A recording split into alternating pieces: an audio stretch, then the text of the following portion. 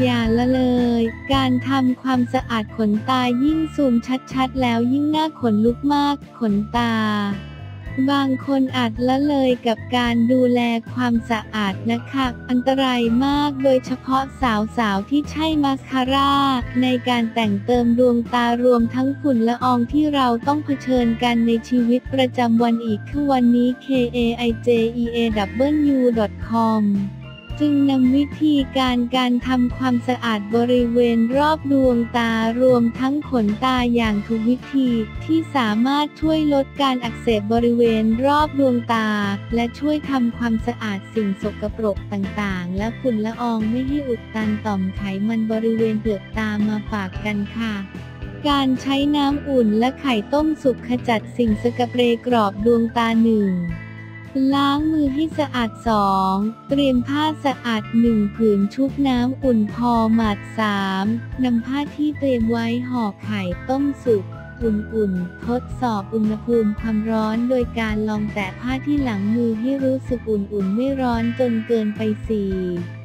หลับตาผ่อนคลายไม่เกรงกล้ามเนื้อตานำผ้าห่อไข่ที่เตรียมไว้วางลงบนเปลือกตาทิ้งไว้ประมาณ 15 นาที ความร้อนที่พอเหมาะจะช่วยให้ฝุ่นละอองและสิ่งสกปรกต่างๆ หลุดออกโดยง่าย อีกทั้งช่วยทำความสะอาดต่อมไขมันลดปัญหาต่อมไขมันอุดตันบริเวณเปลือกตาอีกด้วย การสครับเปลือกตาด้วยตนเองหนึ่ง ล้างมือให้สะอาด 2. ผสมน้ำอุ่นและน้ำสบู่อ่อนๆประมาณ 2-3 หยดเข้าด้วยกัน 3. จุ่มก้านสาลีลงในน้ำที่เตรียมไว้ จากนั้นดึงปลีอกตาล่างลงแล้วใช้ก้านสำลีที่ชุบน้ำสบู่อ่อนๆเช็ดทำความสะอาดเบาๆบริเวณขอบตาและโคนขนตา 4. ห้ามเช็ดบริเวณขอบตาด้านในและระมัดระวังไม่ให้นิ้วมือหรือสำลีสัมผัสดวงตา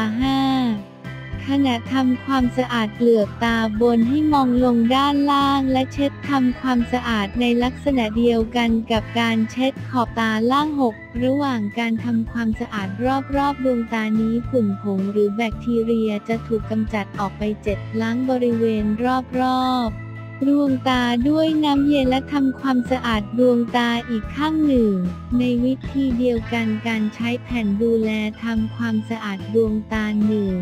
ล้างมือให้สะอาด 2. ดึงเปลือกตาล่างลงและเช็ดทำความสะอาดเบาๆบริเวณขนตาโดยเริ่มจากหัวตาไปหางตาหลายๆ ครั้ง 3. หลับตาและทำความสะอาดเปลือกตาบนในลักษณะเดียวกัน 4. เมื่อทำความสะอาดเสร็จแล้วให้ทิ้งแผ่นทำความสะอาดดวงตาที่ใช้แล้ว 5. ควรทำความสะอาดบริเวณรอบๆ ดวงตาวันละสองครั้งเช้าและเย็นดอกจันดอกจัน